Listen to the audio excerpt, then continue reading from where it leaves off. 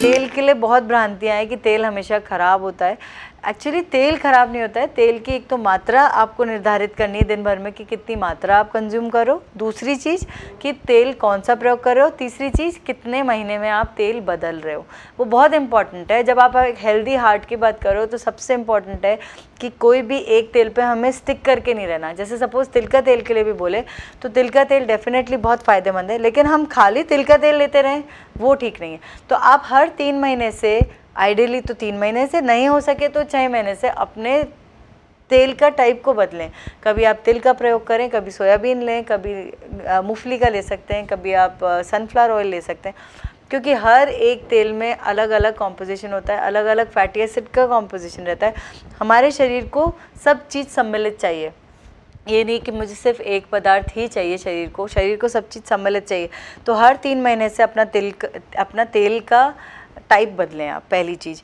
दूसरा चीज़ जो ध्यान में रखने की है कि आ, ऐसा तेल प्रयोग में लें जिसका स्मोकिंग पॉइंट ना बहुत ज़्यादा स्मोकिंग पॉइंट क्या होता है कि जिस वक्त हम तेल गरम कर रहे हैं तो कम आँच पे ही तेल का एकदम धुआँ निकलने लग जाए तो वो तेल काम में नहीं लेना।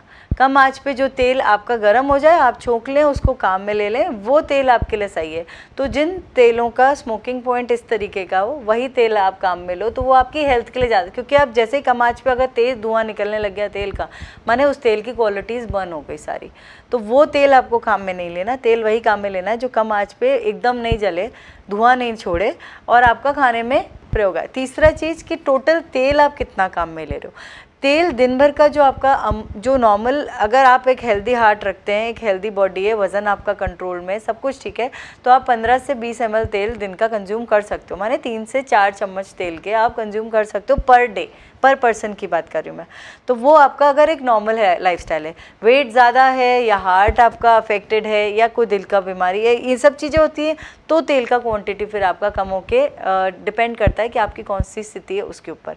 तो ये चीज़ बहुत इंपॉर्टेंट है ध्यान रखना कि कौन सा तेल कितने समय तक प्रयोग कर रहे हो और कितनी मात्रा में प्रयोग कर रहे हो। ये तीन चीज़ें आप ध्यान रखोगे तो इट इज़ वेरी फ्रेंडली